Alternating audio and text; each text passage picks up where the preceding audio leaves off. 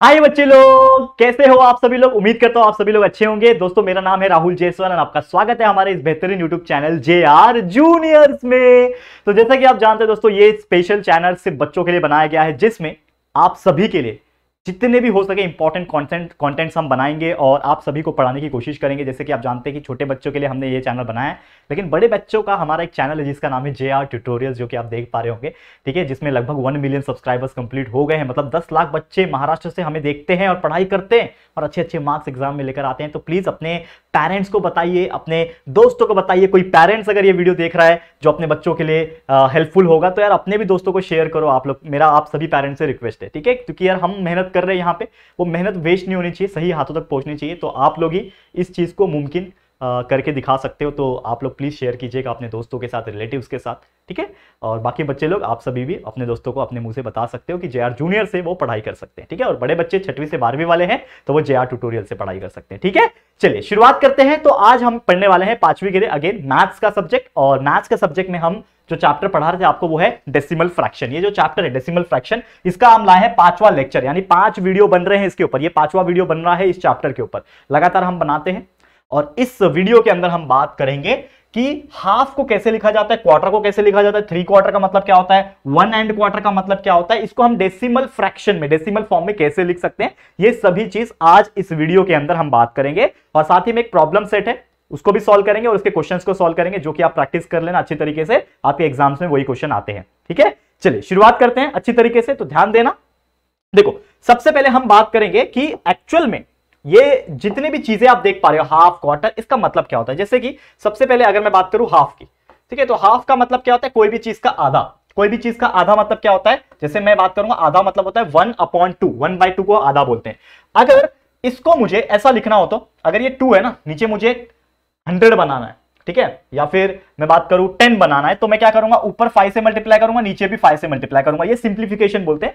तो ये क्या हो जाएगा? नीचे फाइव हो जाएगा, नीचे, ऊपर ऊपर फाइव हो जाएगा, नीचे टेन हो जाएगा। तो फाइव बाय टेन का मतलब क्या होता है? फाइव बाय टेन का मतलब होता है दोस्तों ज़ीरो पॉइंट फाइव मतलब आधा को हाफ़ को हम लोग क्या लिख सकते हैं फ्रैक्शन में? पॉइंट में डेसिमल फॉर्म में डेसिमल पॉइंट में कैसे लिख सकते हैं? ज़ीरो पॉइंट फाइव लिख सकते हैं। समझ में आया? आधा को हाफ़ को हम लोग ज़ीरो पॉइंट फाइव लिख सकते हैं। ये आपको ध्यान में रखना है। फिर वही अगर मैं बात करूँ क्वार्टर की, एक क्वार्टर एक क्वार्टर तो क्वार्टर का मतलब होता है, आप जानते हो वन बाय फोर मैंने आपको बताया था। एक में चार हिस्सा लगता है तो उसको क्वार्टर बोलते हैं, ये सब पढ़ चुके हैं। अब इसको मुझे टेन या फिर टेन के मल्टीपल्स में बनाना है तो टेन तो बनेगा नहीं। तो मैं इसको अगर ट्वेंटी फाइव से मल्टीप्लाई करूँ तो हंड्रेड बन जाएगा। तो नीचे ट्वेंटी फाइव से मल्टीप्लाई किया तो ऊपर भी ट्वेंटी फाइव से मल्टीप्लाई करना पड़ेगा। तो ये हो जाएगा twenty five upon four twenty five होता है हंड्रेड तो ये हो जाएगा ट्वेंटी फाइव अपॉन हंड्रेड तो ये हो जाएगा ज़ीरो पॉइंट 25 ये बन गया क्या? 0.25 यानी कि एक क्वार्टर को अगर मुझे डेसिमल पॉइंट में लिखना है तो मैं लिखूँगा 0.25 समझा? ये आपको याद रखना पड़ेगा, ठीक है? वैसे तीसरा चीज़ हम लोग पढ़ेंगे यहाँ पे क्वार्टर हो गया हाफ़ हो गया, अब पढ़ेंगे हम लोग थ्री क्वार्टर थ्री क्वार्टर क्या होता है? अब देखो इसको तो थ्री क्वार्टर का मतलब होता है थ्री बाय फोर ये आप जानते हो थ्री क्वार्टर का मतलब थ्री बाय फोर होता है।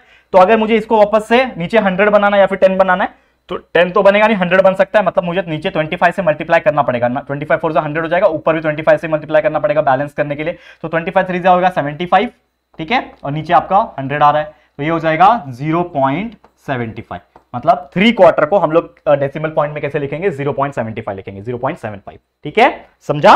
और एक और एक चीज़ होता है जिसको हम लोग बोलते हैं थ्री क्वार्टर हो गया। अब होता है दोस्तों one and quarter one and quarter इसको क्या, कैसे लिखेंगे? देखो वन एंड अ क्वार्टर ठीक है? तो वन एंड क्वार्टर को सबसे पहले वन और क्वार्टर मतलब वन बाय फोर तो वन और वन बाय फोर तो मुझे एक चीज़ पता है कि वन का मतलब तो वन ही होगा और वन बाय फोर का मतलब क्या होता है? वन बाय फोर का मतलब होता है, देखो वन बाय फोर का मतलब होता है ज़ीरो पॉइंट टू फाइव मतलब ये हो जाएगा ज़ीरो इसके साथ ऐड हो जाएगा तो one plus zero is one only तो ज़ीरो पॉइंट टू फाइव मतलब वन पॉइंट टू फाइव बन जाएगा। तो हमेशा याद रखना कि वन एंड ए क्वार्टर आया तो उसका मतलब है वन पॉइंट टू फाइव ठीक है? वैसे और भी बहुत सारी चीज़ें चलो देख लेते हैं फटाफट से, उसका प्रॉब्लम सेट कराएँगे सीधा। ठीक है? एक और होता है, जिसको हम लोग बोलते हैं आ, क्या बोलेंगे? थ्री क्वार्टर हो गया वन एंड क्वार्टर हो गया।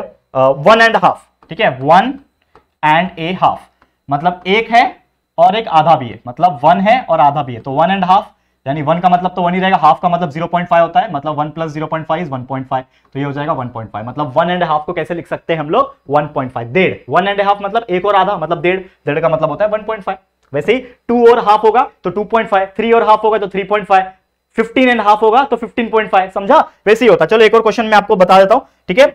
वन एंड थ्री क्वार्टर ठीक है? वन एंड थ्री क्वार्टर कोई भी नंबर हो सकता है साथ में वन के अलावा। ये वन यहाँ पे लिखा है वन के अलावा कोई भी नंबर हो सकता है तो कोई टेंशन की बात नहीं तो वन एंड थ्री क्वार्टर मतलब वन और थ्री क्वार्टर मतलब थ्री बाई फोर तो वन का मतलब तो वन ही रहेगा थ्री बाई फोर का मतलब ज़ीरो पॉइंट सेवन फाइव होता है मतलब वन पॉइंट सेवेंटी फाइव बन जाए तो ये हो जाएगा वन पॉइंट सेवन फाइव समझ में आया? तो ऐसे कई सारे क्वेश्चन आपको पूछेंगे और आपको बस उसको डेसिमल फॉर्म में बनाना है। ठीक है? रेडी हो आप लोग? समझ में आ गया? बेसिक चीज़ें समझ में आ गया? अब सीधा हम मैं आपको प्रॉब्लम सेट के क्वेश्चन जो है वो कराता हूँ और फटाफट से आप लोग इसका आंसर दोगे। ठीक है? चलो तो सबसे पहले प्रॉब्लम सेट नंबर फोर्टी नाम है इसका। और इसको हम लोग करने वाले हैं सॉल्व ध्यान से देखना बच्चे लोग. चलो, सबसे पहले हम लोग इसको सॉल्व करेंगे. टू एंड ए हाफ़ मतलब टू होगा और आधा होगा. टू वन बाई टू तो टू को तो हम लोग टू लिखेंगे, लेकिन हाफ़ को मैं कैसे लिखूँगा? ज़ीरो पॉइंट फाइव तो ये हो जाएगा two plus zero point five यानी हो जाएगा टू पॉइंट फाइव आ गया आंसर मतलब टू एंड हाफ़ का मतलब ढाई ढाई मतलब टू पॉइंट फाइव हो गया? दूसरा क्वेश्चन देखो, क्या बोल रहा है? टू एंड ए क्वार्टर तो मतलब टू और क्वार्टर मतलब वन बाय फोर टू को टू को लिखते हैं. टू को टू लिखेंगे. वन बाय फोर को हम लोग लिखते हैं. प्लस बीच में इसलिए लिखना है क्योंकि इसके बीच में एक्चुअली प्लस होता है। लिखते नहीं है, बस यहाँ पे लिखना पड़ेगा प्लस बताने के लिए। वन बाय फोर का मतलब होता है ज़ीरो पॉइंट टू फाइव तो ये हो जाएगा two plus zero point two five is nothing but two point two five समझा? ये आ गया आपका आंसर क्लियर तीसरा question two and three quarter two and three quarter मतलब क्या होता है? टू थ्री क्वार्टर का मतलब होता है थ्री बाय फोर ठीक है?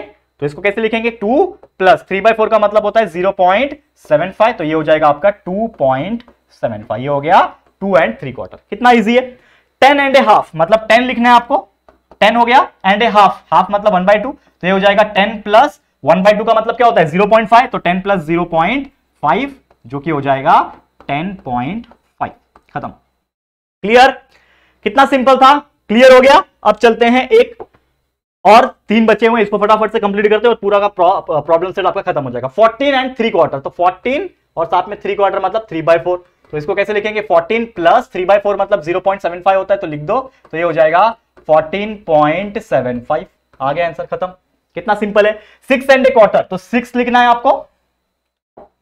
सबसे पहले सिक्स लिखना है, और क्वार्टर का मतलब होता है वन बाय फोर यानी कि six plus one by four को कैसे लिखते हैं? क्वार्टर को कैसे लिखते हैं? ज़ीरो पॉइंट टू फाइव लिखते हैं। ये सब बता चुका हूँ ऑलरेडी तो ये हो जाएगा सिक्स पॉइंट टू फाइव खत्म। क्लियर लास्ट क्वेश्चन देखो ध्यान से। 28 एंड हाफ़ तो 28 और हाफ़ मतलब वन बाई टू तो ये हो जाएगा 28 प्लस हाफ़ मतलब होता है 0.5 तो ये हो जाएगा 28.5 कदम कितना सिंपल है? है कि नहीं दोस्तों? क्लियर बहुत अच्छी तरीके से समझ में आ गया होगा आपको। मतलब इससे ज़्यादा सिंपल प्रॉब्लम सेट के क्वेश्चंस कोई हो ही नहीं सकते और ये आपने बिल्कुल आसानी से सॉल्व कर दिया। और इसी के साथ हमारा ये जो वीडियो है, ये भी समाप्त होता है, क्योंकि आज हमने ये पूरा कंप्लीट करा दिया। अब छोटे मोटी चीज़ें बचे इस चैप्टर में तो एक और लेक्चर बन जाएगा और ये चैप्टर पूरा कंप्लीट हो जाएगा। तो आप लोग बस देखते रहना अच्छी तरीके से, प्यार देते रहना। और एक रिक्वेस्ट आपसे ये भी है कि अपने दोस्तों को शेयर करके ज़रूर से बताइएगा हमारे चैनल जे आर जूनियर्स के बारे में और जे आर ट्यूटोरियल्स के बारे में तो यार सब जानते हैं, ठीक है? तो प्लीज़ सबको बताते रहना, हम यहाँ से पढ़ाई करते हैं और अपने दोस्तों को शेयर करना यूट्यूब का लिंक शेयर करना ये वीडियो का लिंक शेयर करना, सभी लोग देख सकेंगे यूट्यूब पे, ठीक है? चलो, फिर आज के लिए इतना ही। वीडियो पसंद आया होगा तो लाइक कर देना, शेयर करना अपने दोस्तों के साथ और पहली बार आए हो चैनल पे तो चैनल को नीचे सब्सक्राइब भी कर देना, ठीक है दोस्तों? तो जल्दी मिलेंगे हमारे एक और वीडियो में, तब तक के लिए thank you and good bye